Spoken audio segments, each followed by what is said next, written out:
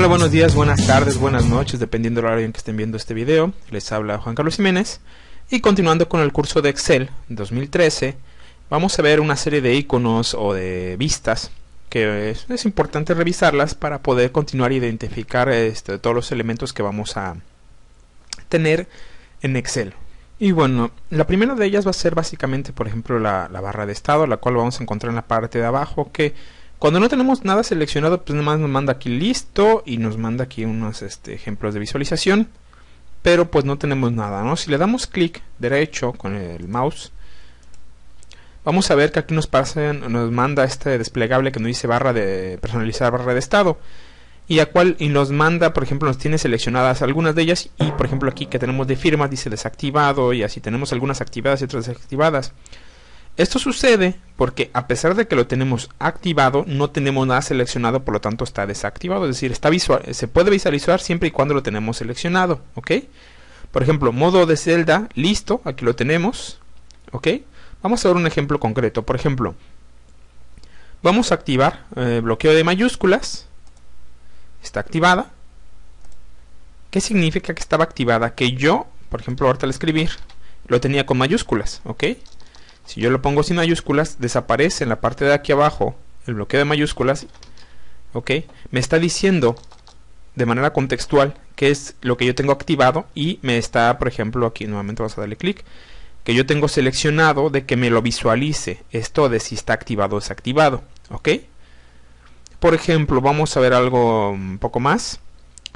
Eh, vamos a ver, vamos a desactivar esto. Bueno, esto, esto del bloqueo de mayúsculas, ¿en qué me puede servir? Por ejemplo, si yo aquí ya teniendo, estoy manejando campos, por ejemplo, eh, de eh, contraseñas, y este y en esa contraseña no me permite, por ejemplo, mayúsculas, al momento de que yo la tengo activa aquí me lo está alertando, ¿ok? Básicamente, digamos, es una de las utilidades, entre otras, que se puede llegar a tener, ¿ok? Vamos a ver, por ejemplo, esto del um, promedio y recuento. ¿Esto cómo me va a servir? Aquí yo ya lo tengo activado. Si yo selecciono, por ejemplo, estos datos, estos números que tengo aquí, vemos que en la parte de abajo ya me está dando el promedio de lo que yo tengo seleccionado, el recuento, es decir, son 5 campos, y la suma de solamente esto. Es decir, sin tener que yo hacer la autosuma, yo ya aquí puedo tener una serie de datos, ¿sí? Una serie de resultados previos. Esto va a ser muy cómodo, por ejemplo, cuando yo tengo, ya estoy trabajando grandes, eh, grandes tablas, eh, pues bueno, de, sin tener que andar haciendo la autosuma o la suma, pues simplemente seleccionando ya puedo tener, ah, bueno, a ver cuánto es de esto, tengo ya el promedio, tengo el recuento y tengo la suma. ¿Sí? Esto me puede servir muy bien cuando yo configuro esto de barra personalizada de estado. ¿Sale?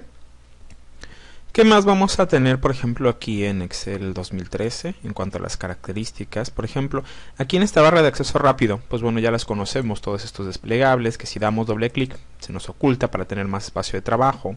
Si le damos nuevamente este clic, doble clic, se nos eh, aparece, o si lo damos doble clic y nada más cuando la seleccionamos aparece, pero siempre eh, al momento de seleccionarla se desoculta. Esto pues bueno, ya, ya lo conocemos, pero una de las cosas interesantes es cómo podemos personalizarlas. Por ejemplo, en la parte de aquí, vamos a ver que tenemos este triangulito y nosotros podemos agregar o, quitar, por ejemplo, eh, accesos rápidos. Por ejemplo, yo puedo poner un nuevo y aquí me va a aparecer esta hojita. Que lo que va a hacer básicamente es que, por ejemplo, yo me puedo abrir una nueva tabla de Excel. Al momento de darle clic, me la crea, ¿sí? De manera rápida, ¿ok?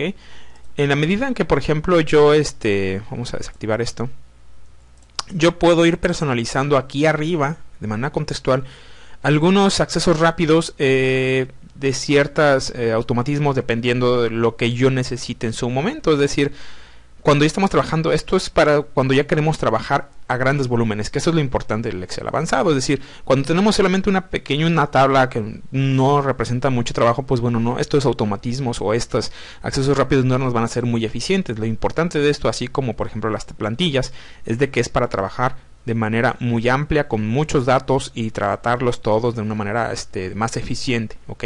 Para esto es lo que nos va a servir, no para un trabajo digamos muy pequeño. La idea es un trabajo de medianos dimensiones, ¿ok? Bien, vamos a ir que por ejemplo aquí nos da por default una serie de automatismos como la ortografía, deshacer y todo esto, ¿no? Que ya lo tenemos aquí por default. Pero por ejemplo podemos agregar más, más comandos. Nos va a abrir este desplegable, este cuadro de diálogo, donde nosotros, vamos a poder agregar justamente cuáles son eh, algunos de ellos que por ejemplo queramos tener aquí de manera rápida.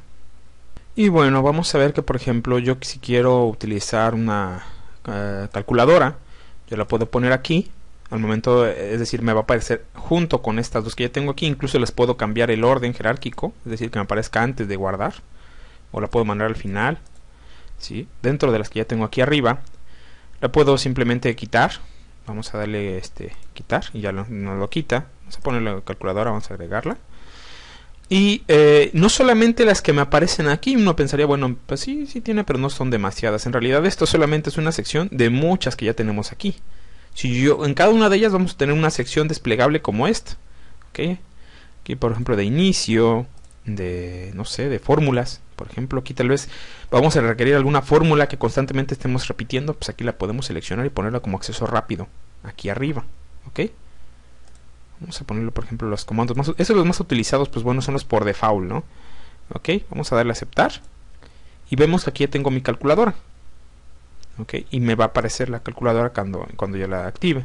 Vamos a darle nuevamente, a darle más comandos y yo la puedo quitar, por ejemplo. Ok, vamos a aceptar y ya no me aparece. Y bueno, vamos a ver que aquí si damos clic en la barra de estado, en la parte... Eh, donde está un zoom más y menos en 100% es la barra de visualización o barra de estado que vamos a poder acercarnos o alejarnos dependiendo de nuestras necesidades. Vamos a poner un 100% ok esto es bien importante digamos vamos a hacerlo directamente por medio del más menos o simplemente cambiando el porcentaje de visualización. Vamos a ponerle por ejemplo un 200% le damos a aceptar vamos a darle clic nuevamente a un 75% lo vamos a aceptar ok un 100% que es el normal. Y qué más vamos a poder ver por ejemplo aquí vamos a ver que en la parte mm, izquierda de donde tenemos digamos el zoom tenemos por ejemplo los modos de visualización que tenemos este que es el modo normal que al momento de ponerle o acercarnos ahí nos va a decir modo normal. El modo de impresión que aquí vamos a ver básicamente con reglas modos de impresión en función de la configuración de hoja que tengamos. Aquí la por default me da la A4 y vamos a ver que me da este modo de impresión. ¿Sí? Después vamos a darle el siguiente, que lo que va a hacer es el modo salto de página, que en el cual yo voy a poder, por ejemplo, seleccionar eh, o, o vamos a visualizar solamente aquello que vamos a imprimir. ¿okay? Yo puedo ajustar esto, por ejemplo, si y eso pasa con mucha frecuencia, de que las tablas salen y nos, y nos genera, por ejemplo, la última columna en una siguiente hoja. Yo esto lo puedo ajustar con este modo, en el cual, por ejemplo, puedo excluir datos. Por ejemplo, aquí la página de impresión solamente sería esto, lo que está en esta columna no me lo imprimiría. ¿ok? Yo puedo nuevamente ajustarlo para que se me agregue dentro de la página 1. ¿Ok? Esto es muy útil, por ejemplo, como ya les había mencionado, que pasa con mucha frecuencia de que tenemos una tabla bastante larga y la empezamos a ser pequeña y pequeña o ajustamos los, los, campos. Pues bueno, esto básicamente lo podemos hacer de esta manera. Lo que, lo que va a hacer es ajustarlo, digamos, en cuanto al porcentaje de visualización. ¿Ok? Nosotros podemos ajustarlo de esta manera. Podemos regresar a la versión original, que sería esta. Incluso aquí nos remarca, nos hace un recuadro justamente del área de impresión que ya tenemos. ¿Ok? Si yo regreso al anterior, y lo por ejemplo lo ajusto para que no salga el último campo y regreso a la versión anterior, vamos a ver que aquí me está marcando esto, significa esta, esta línea o punteada, significa que es básicamente el área de impresión que va a tomar si yo lo mando a imprimir y que la última columna me la va a excluir, ¿ok? Nosotros con esta visualización entonces podemos actuar, este, podemos modificarla, ¿ok? Bueno, estos, digamos, de manera general, algunos elementos ocultos o que no son, digamos, a primera vista de Excel y que son muy útiles eh, al momento de trabajar. Espero les sirvan. Igual espero sus observaciones, sus comentarios, dudas, incluso tutoriales que les interese que cree o cursos, porque la idea no tanto son tutoriales sino en cursos o igual temas que de repente se me estén yendo. Y pues bueno, los espero en el siguiente tutorial y hasta la vista.